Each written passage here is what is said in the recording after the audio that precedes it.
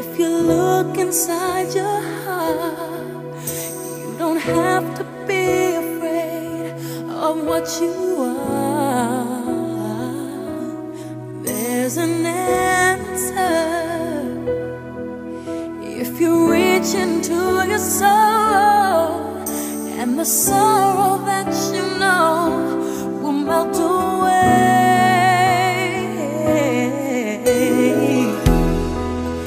then a hero comes along with the strength to carry on, and you cast your fears aside, and you know you can survive.